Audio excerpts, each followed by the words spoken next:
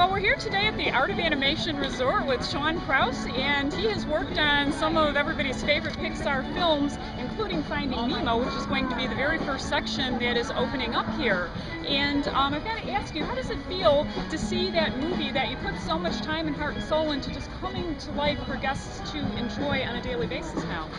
It's wonderful. It's been a long time since Nemo came out, and to see another generation get to play in the whole world of Nemo now is really exciting. And again, like I was saying before, to take my kids here, I'm going to be, you know, thrilled to let them play in the pool where you can actually hear the voices of the characters under the water.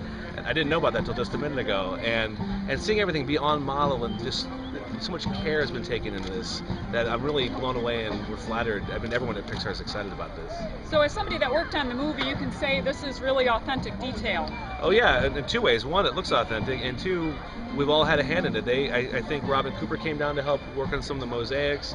Um, uh, Jerome Ranft helped sculpt some of the characters down here, and we see everything that's being made. So we, you know, we have a firsthand uh, knowledge and help for these things. Jay, Jay, uh, Jay Ward has come down to help, especially with the Cars, the Cars Hotel. So it's authentic in that way, it, that way as well. So.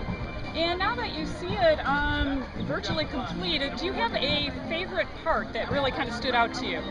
A favorite part would probably be well, Mr. I love Mr. Ray. This player I think is most fun because yeah. my son was just playing in the fountains over at Epcot, and I know he's going to get a really big kick out of that. So they actually spit water and, and squirt things at you, so it looks like a lot of fun.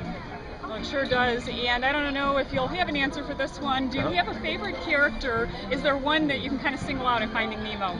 On Finding Nemo? Yeah. Uh, I think Crush's because that was a character I got to do a lot of stuff at the very beginning and kind of help figure out who is he and just stretching his neck out and having him flip around and do all these crazy things. He was really a lot of fun to work with. Yeah, I can imagine. He's a fun character. Well, thank you yeah. so much for chatting with us today.